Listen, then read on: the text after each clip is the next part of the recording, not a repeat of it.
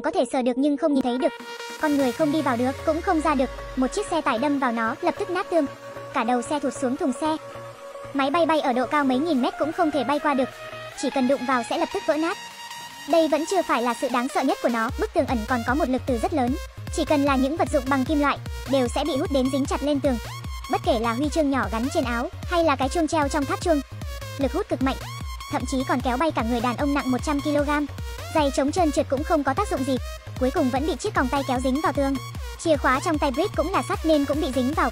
Bỗng nhiên, một chiếc xe đẩy có thùng sắt cũng bị hút đập vào tường, khiến hai người vô cùng sợ hãi. Lúc hai người đang cảm thấy mình vẫn còn may mắn, một chiếc xe bị lực từ hút vào cũng đã bắt đầu chuyển động. Trong khoảnh khắc chiếc xe sắp đâm đến, Britt đã vội vàng đẩy Mai ra.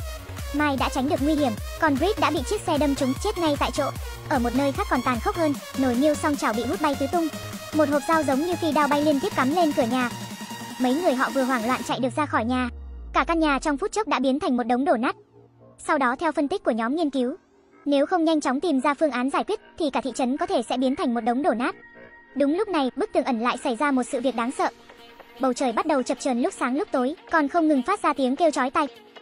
Rachel nghe thấy đã lập tức rơi vào hôn mê ngã xuống đất. Những người ở bên ngoài cũng như vậy, từng người một bị từ trường mạnh gây choáng ngất đi.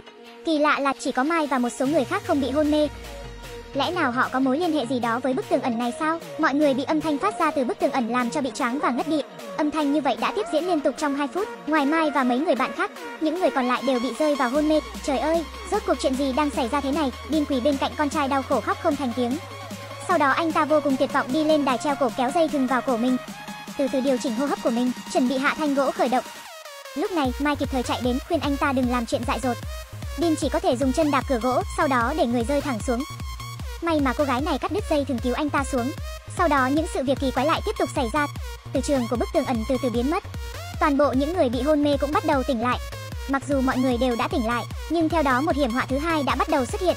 Vườn rau mà người dân trong thị trấn trồng xuất hiện một số lượng lớn sâu bọ, chúng có thể ăn những thực vật nặng hơn mình gấp 200 lần.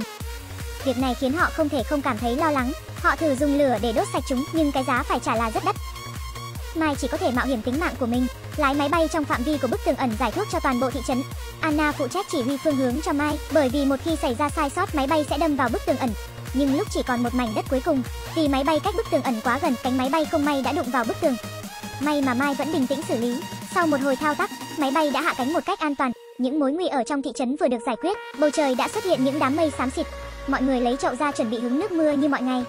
Nhưng lúc họ nhìn thấy nước mưa đã chết lặng thật kỳ lạ, nước mưa hôm nay lại có màu đỏ. Trời đang đổ mưa nước nho sao? Một cô gái thò tay ra ngoài hứng một ít nước mưa, bỗng nhiên tay đau nhói phải lập tức rụt lại. Đây chính là hiểm họa thứ ba mà họ phải đối mặt.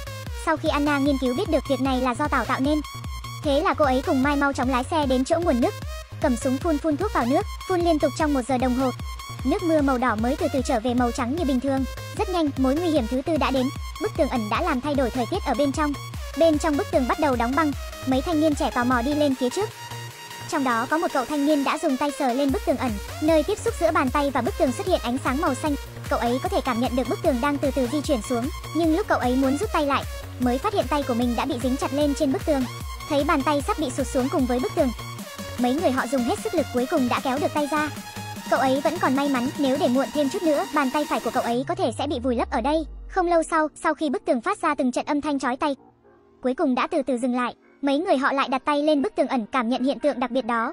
Bỗng nhiên, bức tường ẩn bắt đầu tăng tốc cuộn tròn lại, mặt đất chỗ bức tường ngăn cách bị nứt ra. Sau đó bọn họ phát hiện một cái hố sâu rộng khoảng 50 mét trong một khu rừng. Họ buộc dây thừng vào rồi theo dây thừng tụt xuống đáy hố.